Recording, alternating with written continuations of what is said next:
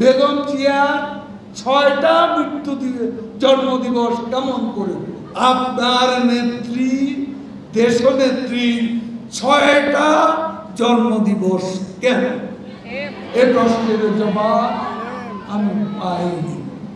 August মাস, পনেরোই August দুয়ারে করাঘাত করছে।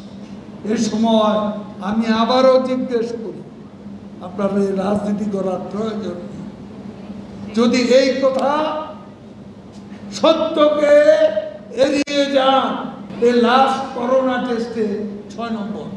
ছয় নম্বর, আবারও কেক কাটবেন, আবারও পনেরোই আগস্টে জন্মদিবস পালন করবেন। আর কত? বাংলাদেশের একটি দল, একটি মক্কবি গোষ্ঠী এরা কত নিষ্ঠুর, এরা কত অন্ধ আক্রোশে ভোগে এরা রাজনীতিতে কত প্রতি- প্রতিশোধ পরায়ণ? এই প্রতিশোধ পরায়ণ অন্ধবিত্তের যাদের তারা আবার গণতন্ত্রের কথা বলে। মির্জা ফখরুল কোনোদিনও আমার একটা প্রশ্নের, আর একটা প্রশ্নের জবাব দিতে পারে। পনেরোই আগস্টের মাস্টার মাইন্ড জিয়াউর প্রমাণ আছে খুনিদের নিজেদের জবানবন্দিতে তাদের ইন্টারভিউতে কে বলেছিল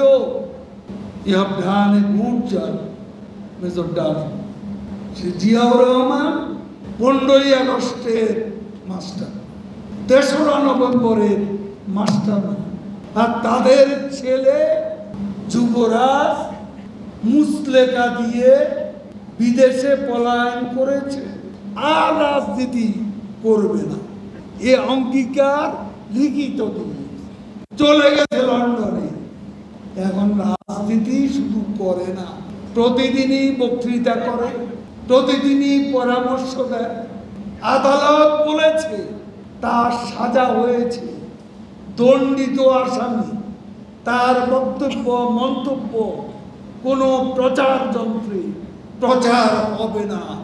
এরপরও আদালতে অবমাননা করে কেন প্রতিদিন কে তাকে এ দুঃসাহস দিল?